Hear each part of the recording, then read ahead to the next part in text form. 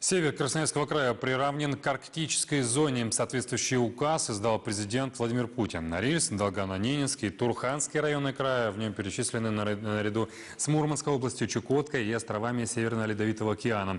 Эксперты считают, что масштаб расширения присутствия и исследования в Арктике российскими специалистами за несколько лет может увеличиться до уровня первой половины 20 века. Это был так называемый «золотой век».